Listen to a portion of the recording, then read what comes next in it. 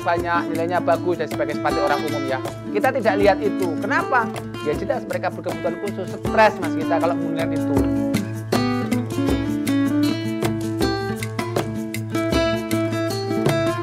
Kok malah kita stres berarti kita yang sakit, bukan dia yang sakit.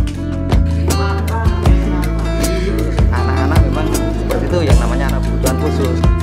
Anak saya, santri saya itu tidak boleh sholat Jumat masjid, katanya mengganggu. Sambil saya nangis, pokoknya saya kalau saya nanti buat pondok pesantren, yang mau saya buat adalah masjid